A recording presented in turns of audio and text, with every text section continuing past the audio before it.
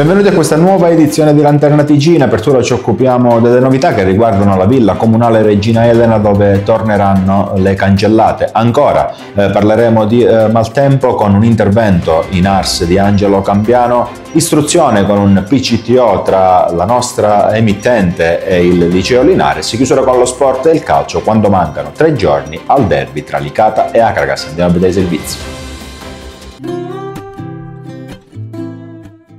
Vieni a provare una gustosa pizza anche durante la stagione invernale. Molly Club resta aperto, sapori e gusti in una location unica, con sullo sfondo un mare da sogno.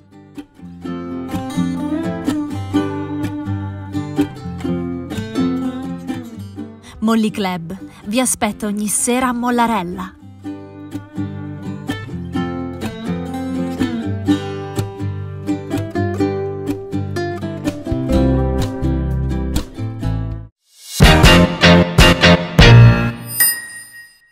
Stato approvato un provvedimento esecutivo per il ripristino dell'inferriata che tornerà a delimitare Villa Comunale Regina Elena. Il Comune ha ottenuto dal Dipartimento alle Infrastrutture un contributo regionale di 194.000 euro per la messa in posa della cancellata.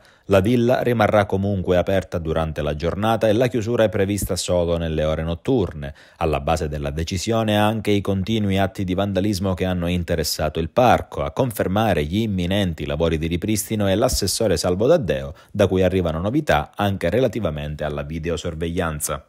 Eh, abbiamo due punti. Uno che quello è un giardino storico tutelato dalla sovrintendenza che ci impone di chiuderlo. Sì. Nelle ore serali il giardino deve essere protetto e tutelato.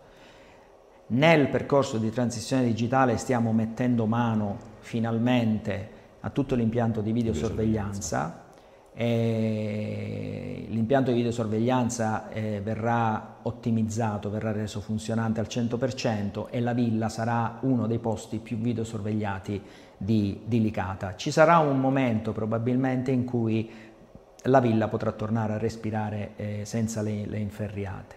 Eh, le inferriate non pregiudicano la bellezza del, no. del, nostro giardino, noi stiamo programmando tutta una serie di eh, attività all'interno della villa, non dimentichiamoci che il fatto increscioso che è successo qualche, qualche giorno fa sui giochi dei bambini è stato fatto in pieno giorno, quindi quello non, ci sono, inferriate, non ci sono inferriate che tengano. L'inferriata naturalmente eh, protegge il giardino nelle ore, nelle ore notturne e, e, dà un senso, un senso di, di, di, protezione proprio al, al nostro giardino storico. Stile, potenza, emozione. La tua auto dei sogni ti aspetta da Terminal Motors. Scopri l'eccellenza nei nostri showroom.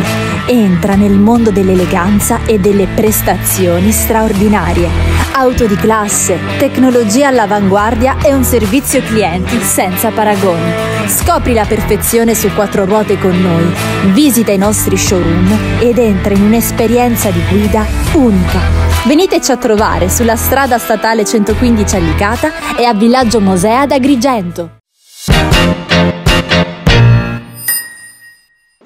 Io ricordo ancora come se fosse ieri il mio eh, intervento proprio in quella eh, prima seduta d'aula dell'assessore Dagnino in cui eh, consegnai simbolicamente 3.500 firme raccolte dai cittadini licatesi che chiedevano a gran voce l'installazione di un dissalatore nel comune di Licata. Sono trascorsi circa 90 giorni dopo le rassicurazioni del Presidente Schifani su un intervento immediato rispetto alla fattibilità dell'opera, considerato che veniva richiesto un preventivo eh, sotto il milione e mezzo di euro, tempi di consegna di 4-6 settimane, ad oggi siamo alle prese ancora con le turnazioni idriche che superano i 15 giorni in provincia di Agrigento. Perché ho fatto questa premessa? Perché io mi sarei aspettato, da, non dall'assessore Dagnino, che ovviamente rincorre in questo momento le emergenze, ma da un governo che è in carica da sette anni, perché il Presidente Schifani nel suo discorso di insediamento ha voluto ribadire in più passaggi la continuità col precedente governo, che non si affrontasse tutto come una continua emergenza, perché questa è una regione e questo è un Parlamento che passa dall'affrontare il tema dell'emergenza incendi a quello dell'emergenza siccità a quello del dissesto idrogeologico e lo fa quasi in contemporanea, cioè in contemporanea in questo momento siamo alle prese con l'emergenza siccità e con il rischio del dissesto idrogeologico con tutto ciò che ha comportato ad esempio nell'Agrigentino l'esondazione del fiume Salso. Si aspettano interventi programmati dal 2016 per mettere in sicurezza i corsi d'acqua. E allora il mio non è un intervento polemico, ma è un intervento che vuole essere costruttivo. Ma io chiedo invece al Governo di affrontare seriamente le emergenze che attanagliano questa terra. Ecco, una dichiarazione dello stato d'emergenza per gli agricoltori nella piana di Gela, Butera, Licata, Spero che arrivino immediatamente quelle, quegli aiuti. Spero che non ci si perda nella burocrazia perché ancora finanziamo misure per dichiarazioni di stato di calamità di 5-6 anni fa. Non è stato citato un comparto che ha sofferto particolarmente quello della pesca perché non è stato inserito nella dichiarazione dello stato di calamità. Allora chiediamo a questo governo di incrementare la capacità di ascolto perché probabilmente quello che serve non è un'intesa sui singoli provvedimenti, ma è un ragionamento su provvedimenti strutturali. La falegnameria Caico Arte Design è leader nel settore degli infissi in legno e della serramenta. La collaborazione con prestigiosissime ville italiane ne testimonia l'importanza dell'azienda. Veniteci a trovare in via Salvo d'Acquisto a Licata.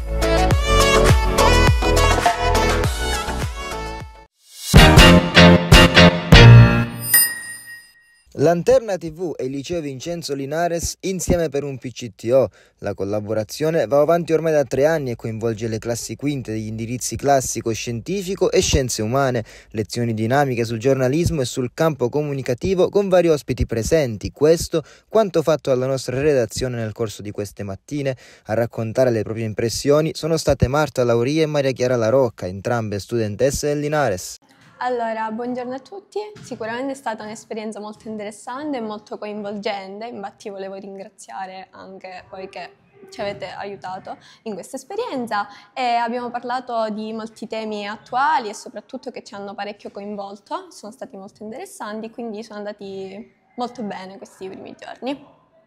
Inizialmente, diciamo, nei primi giorni abbiamo parlato anche della nostra città, abbiamo imparato a conoscerla meglio anche grazie appunto all'intervento di alcuni ospiti che ci hanno spiegato meglio quella che è la storia anche della città, diciamo, abbiamo scoperto eh, molti luoghi eh, che la rendono un'ottima meta turistica e naturalmente poi abbiamo anche parlato di marketing, eh, di come i social influenzano la nostra vita, di come possono anche essere utili a pubblicizzare eh, la città stessa eh, è stata un'esperienza molto bella, eh, eh, piena naturalmente di quelle che sono uh, nuove conoscenze che naturalmente ci porteremo per il resto della nostra vita perché sono anche molto utili, è stata una bellissima esperienza che spero verrà proposta nuovamente anche in futuro.